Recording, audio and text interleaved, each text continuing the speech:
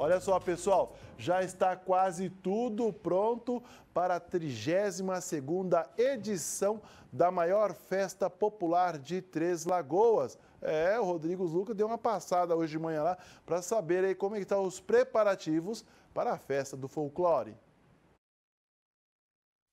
A correria foi grande na manhã de hoje para deixar tudo pronto para mais uma edição da Festa do Folclore em Três Lagoas.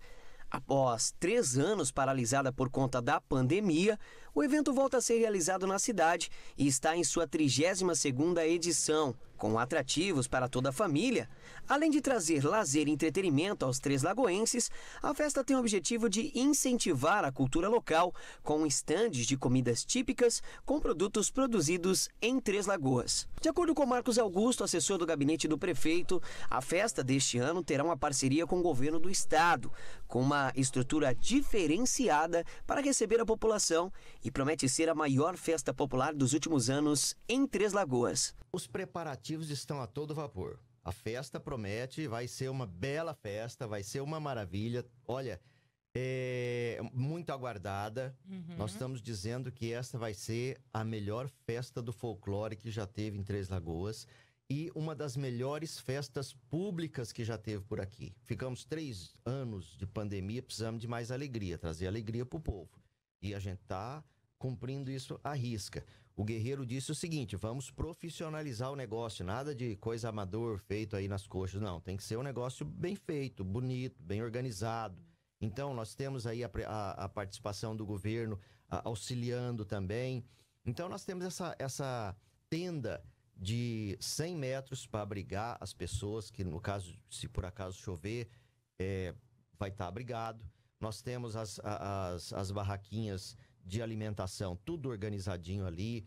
A, a, onde tem, onde fica a Maria Fumaça, ela vai ser colocada para fora ali, para ficar exposta, ficar até mais fácil para as pessoas verem. E lá dentro do barracão, nós teremos a, as, as instituições filantrópicas e as, os artesãos. E por falar em estrutura, o Marcos é o proprietário da empresa responsável pela montagem de toda a estrutura da festa e conta que todos os detalhes foram pensados na grandiosidade da festa e que representa a volta de uma tradição na cidade. Temos um, um, uma tenda barracão, né, tenda show de 100 metros, né, pessoal se abrigar. Temos 25 barracas na praça de alimentação, fora as barracas dos artesanatos. Né? É importante a gente frisar que uma estrutura montada e com muita segurança também, né? Com muita segurança, banheiro químico, PNE, para atender toda a população, né? A população merece se divertir, uma festa tradicional, né? Todo ano.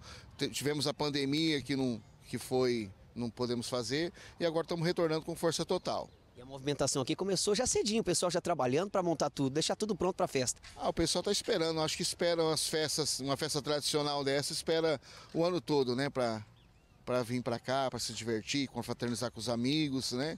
E o pessoal desfrutar de grande show que vai ter, né? Show de nível nacional que Três Lagoas merece. Quase tudo pronto para a maior festa do folclore de Três Lagoas e toda a região. Os preparativos por aqui não param. Além de muita animação, claro, a divulgação de itens como a comida típica, como os produtos vendidos em Três Lagoas estarão em destaque. Além disso, pelo palco principal também irão passar nomes de nível nacional, como Almir Sater, Daniel e Henrique e Diego. O Celso é comerciante e irá montar uma barraca de caldo no evento.